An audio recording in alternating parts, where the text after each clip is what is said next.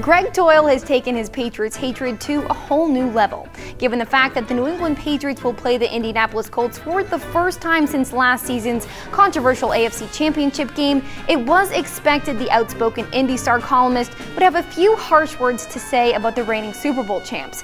But what he had to say about their fans was not expected, to say the least. Doyel recently appeared on the Dwayne Allen Show, and when asked about Sunday's matchup, said, quote, if the Patriots win, there are a whole lot of awful people that will be happy. And when awful human beings are happy, something's gone wrong in the world.